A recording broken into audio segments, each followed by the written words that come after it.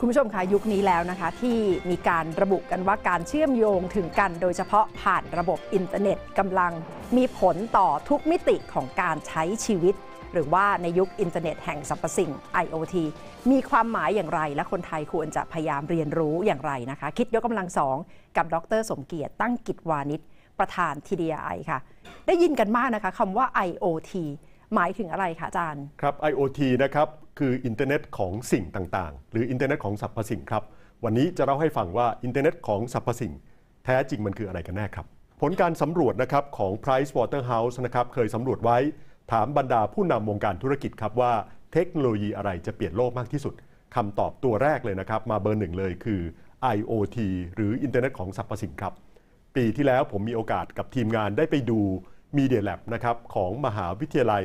MIT ที่สหรัฐอเมริกาครับ ซึ่งเป็นหนึ่งในต้นกำเนิดอินเทอร์เน็ตของสรรพสิ่ง มีได้เห็นผลิตภัณฑ์ใหม่ ๆ แห่งอนาคตยังไงบ้างคะอาจารย์ ขอยกตัวอย่างนะครับ ซึ่งผมคิดไม่ถึงสัก 2 เรื่องนะครับ เรื่องแรกก็คือนะครับต้นไม้นะครับก็เชื่อมต่อกับอินเทอร์เน็ตได้นะครับและมีตัวอย่างของ Media Lab ของ MIT นะครับที่เรา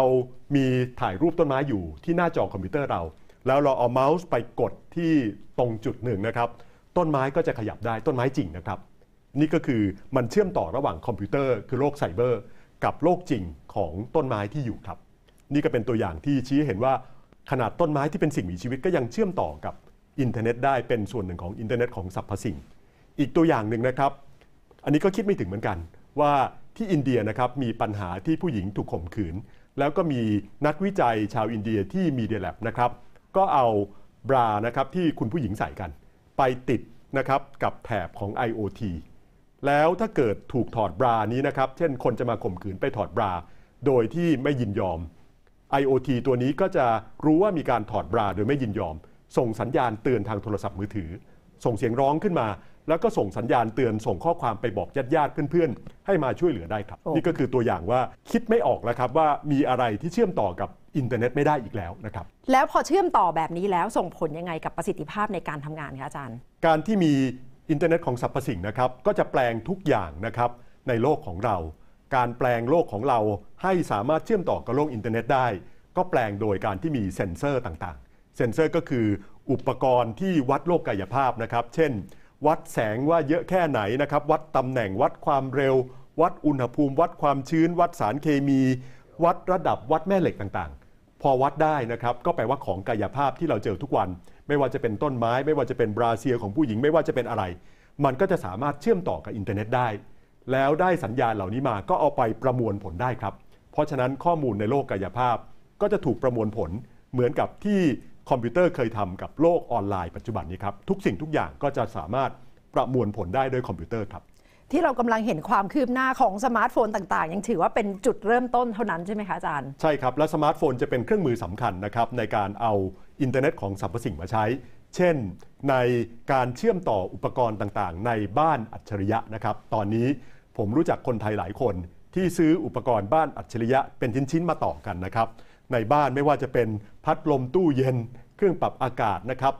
กรประตูอะไรต่างๆ เดี๋ยวนี้สามารถควบคุมได้ด้วยโทรศัพท์มือถือครับ แล้วการที่มีบ้านอัจฉริยะก็ทำให้เกิดการปรับปรุงในหลาย ๆ เรื่องนะครับ เช่นเรื่องความปลอดภัย มีกล้องวงจรปิดนะครับก็จะรู้ว่าใครเข้าออกบ้าน โดยที่เราไม่ต้องอยู่บ้านเราก็มองเห็นได้ มีวงจรกันขโมยที่ตรวจนะครับมีเซ็นเซอร์วัดการเคลื่อนไหวในบ้าน ผู้สูงอายุหกล้มในบ้านลูกหลานก็จะรู้ได้นะครับ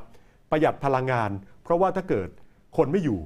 อุปกรณ์เหล่านี้ก็สามารถปิดตัวเองได้ เพราะพบว่าไม่มีคนอยู่แล้ว ก็ปิดแอร์ปิดไฟต่างๆ เป็นต้นนะครับสะดวกสบายสั่งการจากนอกบ้านก็ได้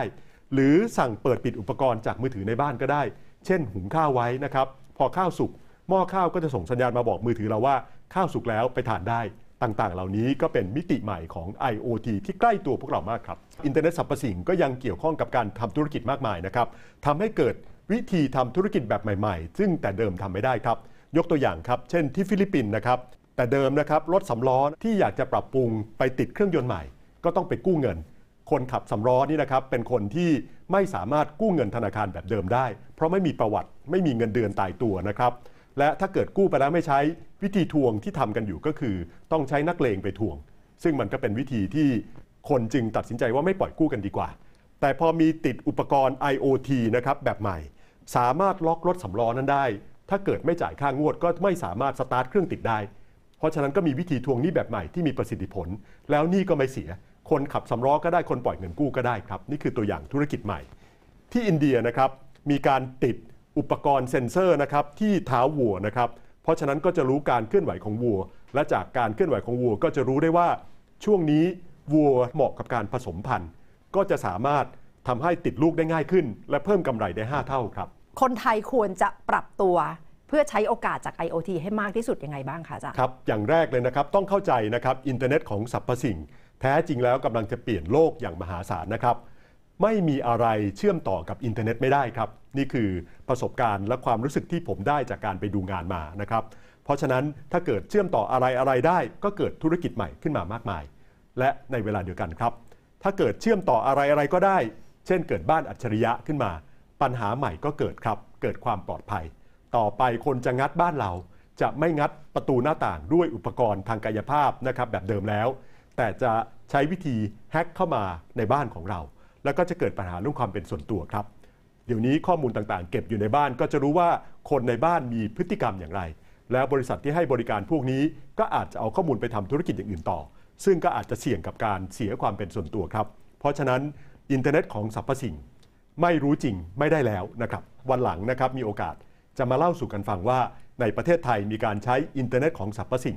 ในการทำอะไรกันบ้าง เอาละค่ะ อินเทอร์เน็ตแห่งสรรพสิ่ง IoT ไม่ใช่เรื่องไกลตัวอีกต่อไปนะคะ อยู่ที่ว่าจะพยายามศึกษา และสามารถเชื่อมโยงให้เกิดโอกาสให้มากที่สุดได้อย่างไรสำหรับแต่ละท่านด้วยค่ะ วันนี้ขอบพระคุณอาจารย์มากค่ะ